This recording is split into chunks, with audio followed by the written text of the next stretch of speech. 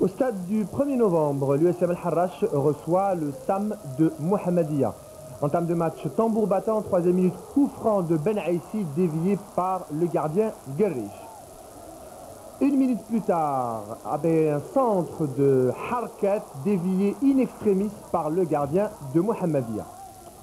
Onzième minute de jeu, Al-Harrach euh, toujours à l'attaque, combinaison Belkasmi Lounissi, talonnade judicieuse et Lounissi du plat du pied met la balle hors de portée du gardien du Sam de Mohamedia, Gerrich.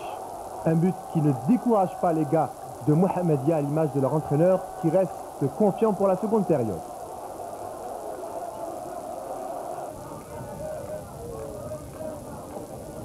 Il y a eu des erreurs, c'est des erreurs de jeunesse, mais ça va se, se rattraper, mais on est satisfait quand même de nos jeunes. La pression Harachi continue, coup franc sur la droite de Ben Aïssi, repoussé par le gardien du Sam de Mohamedia, juste avant la mi-temps. La seconde période commence comme la première avec une domination Harachi, talonnade vers Aït Belkacem, seul devant le gardien, frappe au-dessus de la transversale.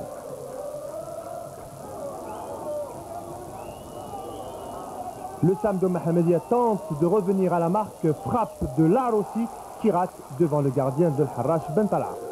L'attaque qui suit pour Al-Harrach, lobe astucieux de Chech pour les Harrachi qui marquent le second but après un lob sur Gerrich.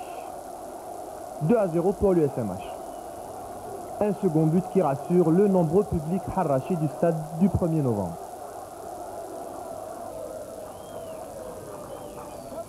L'USM Al-Harrach, avant la fin du match, ratera notamment une occasion après un festival de ici dans la surface de réparation et la défense de Mohamedia qui se dégage.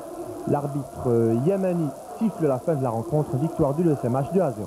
القسم الوطني الثاني يعني توت ليكيب سيفال على كل حال الحاجه الاولى وفريق محمدين هذاك تولي ريسبي له فريق يعني كما يقول لك ممتاز وعنده تاريخ على كل حال واليوم يعني كانت شويه سهوله